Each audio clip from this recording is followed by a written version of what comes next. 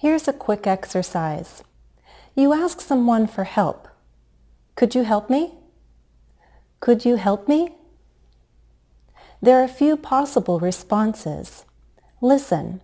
What does each response express? Could you please help me? Yeah. Could you please help me? Yeah. Could you please help me? Yeah. All three times it's the same word, but the intonation communicates a different meaning, right? Yeah.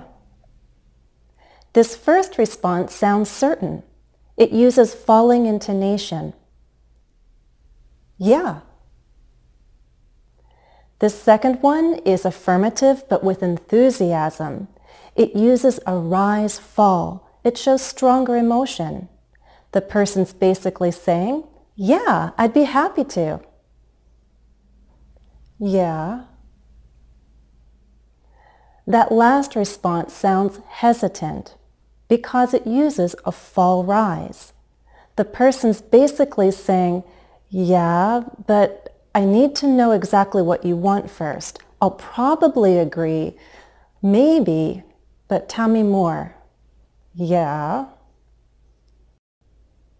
In this lesson, we'll review and practice fall-rise intonation, and we'll begin to consider some differences between formal and informal intonation. Learn intonation patterns in English with Jennifer.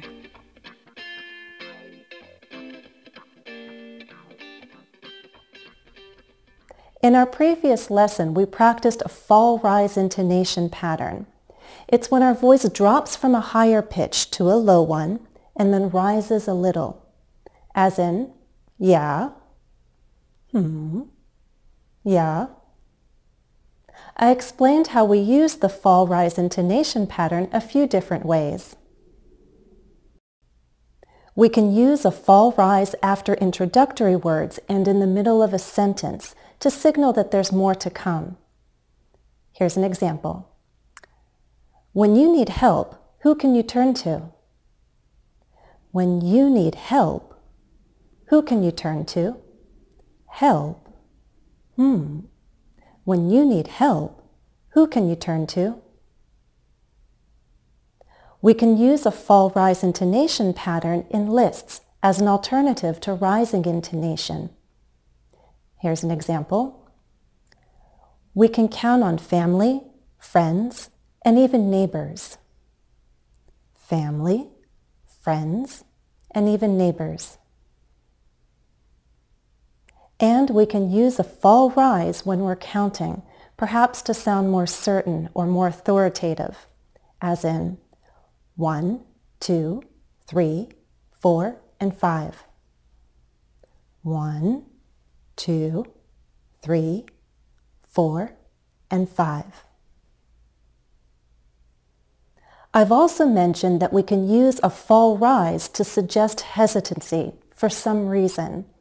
Many speakers use a fall rise on the word well, as in, hmm, well, let me think. Well, let me think. You try the fall rise pattern. Repeat after me. We'll use a fall rise to sound hesitant. No, not really. No, not really. No, not really. Well, I'm not sure. Well, I'm not sure. Well, I'm not sure.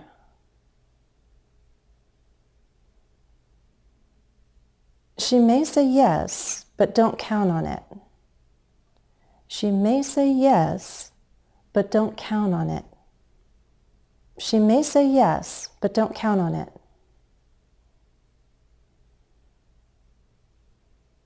That's true, but it's not always the case. That's true, but it's not always the case. That's true, but it's not always the case.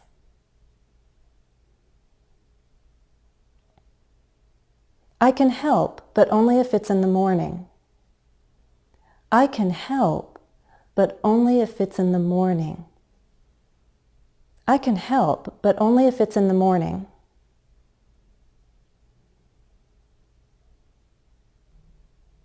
Here's a new use. You might also hear fall-rise intonation in polite speech. Compare two introductions. Imagine I'm your tour guide. Listen. Hi, I'm Jennifer and I'll be your tour guide. Hello, I'm Jennifer and I'll be your tour guide. The two introductions were similar but different. Which one sounded more polite, more formal? The second one. Which one used a fall-rise intonation pattern? The second one. Listen again. I said, Hi, I'm Jennifer and I'll be your tour guide. Hi, rise fall. I'm Jennifer, little rise, low rise, and I'll be your tour guide, falling intonation.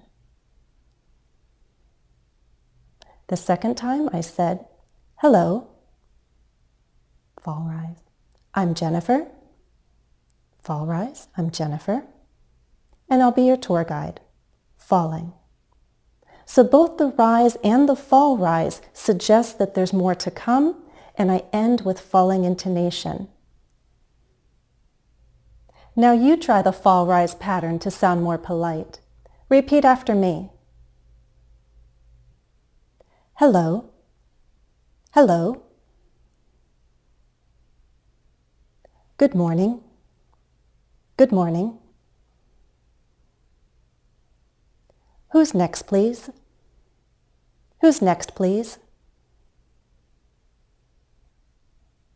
Where could I find Mr. Taylor? Where could I find Mr. Taylor? Excuse me, what time is it? Excuse me, what time is it?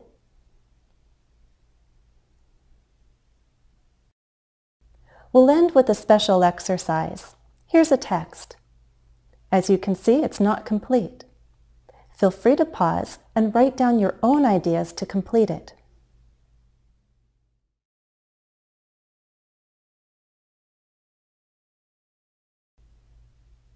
Now I'll read the text with my own word choices. But first, let's look together and decide where could we use a fall-rise intonation pattern? In these places. Remember, a fall rise can suggest that there's more to come. Our thought is not finished yet. We could also use a low rise, some rising intonation, also to suggest that there's more to come but we're going to practice this text with fall rise intonation in these places. I like to play the piano. Sadly, I only have a keyboard. What's more, I don't have much time to play.